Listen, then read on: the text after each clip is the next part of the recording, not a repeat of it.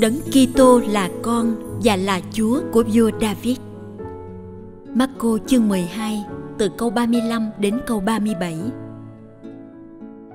Khi giảng dạy trong đền thờ, Đức Giêsu lên tiếng hỏi: Sao các kinh sư lại nói Đấng Kitô là con vua David? Chính vua David được Thánh Thần soi sáng đã nói: Đức Chúa phán cùng Chúa thượng tôi, bên hữu cha đây, con lên ngự trị để rồi bao địch thù cha sẽ đặt dưới chân con. Chính vua David gọi Đấng Kitô là Chúa thượng thì Đấng Kitô lại là con vua ấy thế nào được? Đám người đông đảo nghe Đức Giêsu cách thích thú.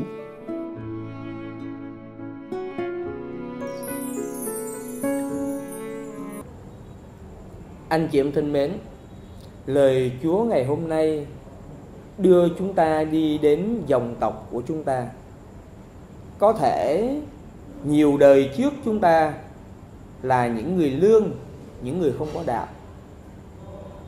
Như có dịp tôi về quê, tôi xem lại gia phả, thì ờ, đối với gia tộc của tôi đó, là đến tôi là đời thứ 8 có đạo.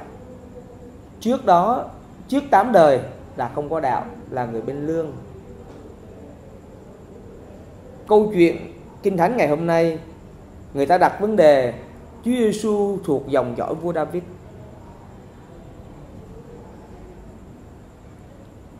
Chúa Giêsu sẽ là đứng cứu độ những người sẽ chết sau khi ngài đã chết và phục sinh, hay là còn cứu độ cho cả dòng tộc tổ tiên của ngài nữa. Thưa, ngài là trung tâm cứu độ ở giữa.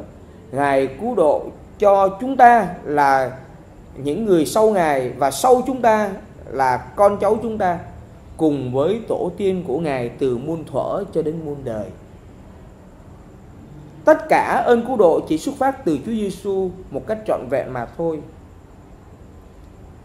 nhưng khi người Do Thái đặt vấn đề Chúa Giêsu là con cháu vua David, họ muốn đưa đến một kết luận đó là Chúa Giêsu không phải là Thiên Chúa làm người. Chúa Giêsu không phải là đứng Thiên Chúa Cha sai đến để cứu độ nhân loại. Và Chúa Giêsu đã phải chích dẫn thánh vịnh của chính David. Để nói rằng, chính David đã gọi Chúa Giêsu là một người được sinh ra trong thân xác, là dòng dõi vua David, là Chúa thượng của Ngài, là Đức Chúa của Ngài, là đứng ngồi bên hữu Đức Chúa Trời, đứng sẽ phán xét loài người và phán xét cả vua David. Như vậy, đây cũng là một mặt hải cho chúng ta thấy. Hay nói đúng hơn mặt hải cho người cùng thời của Chúa Giêsu thấy. Chúa Giêsu là một anh thợ mộc, một người đi thu thập đồ đệ, một người rao giảng làm phép lạ. Tuy có nguồn gốc là một con người rất cụ thể như vậy, nhưng ngài lại là thiên chúa. Ngài là thiên chúa không chỉ đến giờ phút này nhưng rất là nhiều tiền nhân của ngài, trong dòng tộc của ngài đã biết ngài là thiên chúa bằng một cách thức khác. Khi các vị ấy diễn tả ra như thể vua David diễn tả trong lời khẩn cầu của thánh vịt mà chính ngài đã dâng lên thiên chúa.